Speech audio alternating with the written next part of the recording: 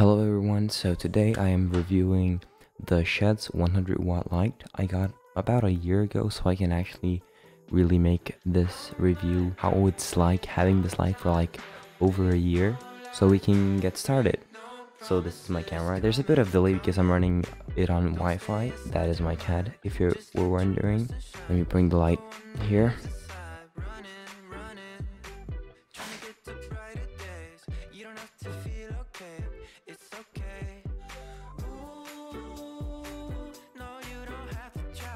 So this is the front of the light, as you can see.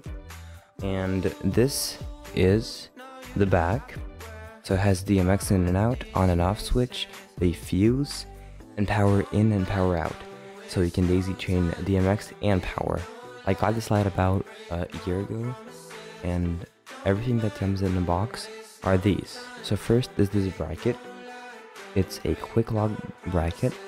You can attach it and hang it. The second thing that comes in the box is this DMX wire. It is a meter long. And then the third thing that comes in the box is the power cord, which is this locking mechanism, which I really, really like. It also came with a manual, but I don't have it. Uh, you can find everything online. First thing we're gonna need is the power cable, right? Just like that. Uh, this slide can run in uh, auto modes or in DMX mode. Um, for me, I'm gonna run it in, a, in DMX mode. I can actually connect my the DMX uh, wire that they gave me. So I just connect this. This is uh, coming straight to a USB uh, to my PC, and then connect this here. All right, so that's it. I'm not gonna I'm not gonna hang this light. I can rotate this light like this. And let me plug it in. Alright, so I plugged it in. Now all I have to do is turn the switch on. So the switch is in the back. I can just turn it on. And that's it. Now it's it's actually really really loud. I'm with my headphones in there, I can still hear it pretty clearly. Now it's starting. It's DMX channel number one. I'm gonna try to show you. Okay, this is way more obvious. So it has set menu, which can go through uh, uh, run mode is set to DMX. You can set this auto, random, sound, or DMX. Uh, then DMX address. Uh, I set this to one. Then uh, channel mode. There's actually only one. Uh, then uh, top LED temperature. I'm actually not quite sure what this does. If you you're not sure, I would not recommend changing this. Then uh, mic sensitivity, then invert pan, invert tilt, uh, pan tilt swap, pan tilt en encoder, uh, no DMX signal displayed, then load to default, and that's all. Then you can go to menu, shutter all the way to 255, and now if I turn this up, uh, I will need to move this light.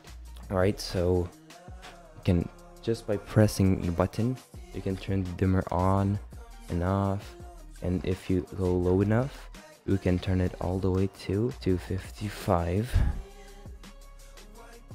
That was really quick. So yeah, you can basically monitor every single DMX channel. So now let's go to system. So DMX monitor, you can see every single channel what it set to if you're using DMX. So so far this is a zero and zero and zero and zero, you know.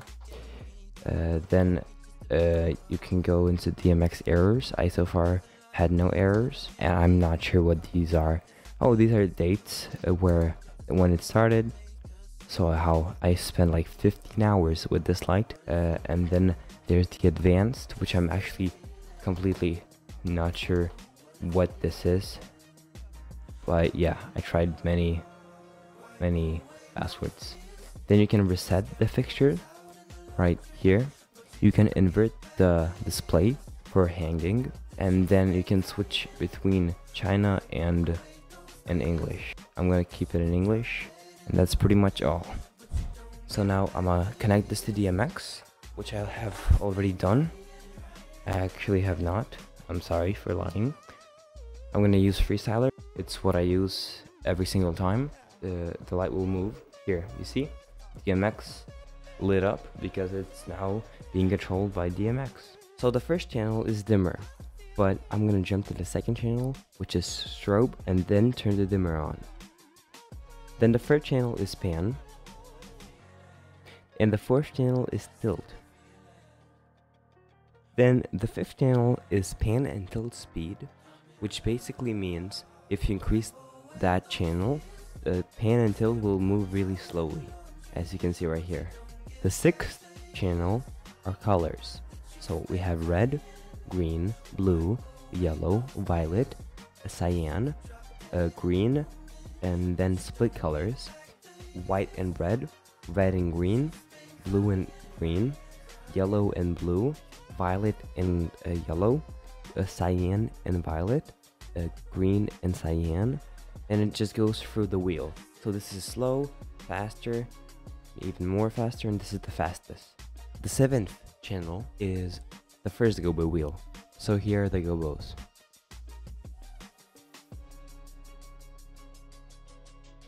And that it has these effects, one direction or the other, and then it has shake. And then that's pretty much all. Then the second gobo wheel. Let's put this in focus. So here we go. These are all the gobos. And that's pretty much all. And then it goes and then it has some effects, one way or the other.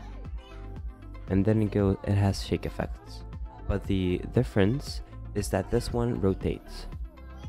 So channel 9 is gobo rotate, but only on the second gobo wheel. But the cool thing is that you can combine these together to get some pretty cool ones.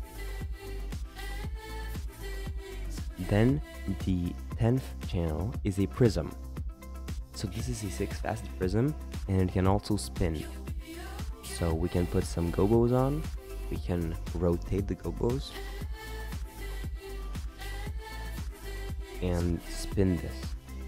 So it's spinning and the gobos are spinning and then you can also combine these. Then the 11th channel, let's put a gobo on and the 11th channel is focusing, right? So it can focus the gobo like that. And then 12 and 13 uh, are pan fine.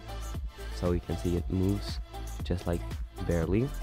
13th channel is tilt fine. 14th channel is a reset. For the main question, is it still good and it, does it work the same uh, when it came last year? I would actually say yes. It it works completely fine. There's there's ha- there has not been any issues with this light. Uh, I have used this for over a year now, and I have not seen any issues. So yeah, I do recommend Shed. Maybe uh, we'll get some sponsorship soon, but for now, this video is not sponsored. See you next time. Peace out.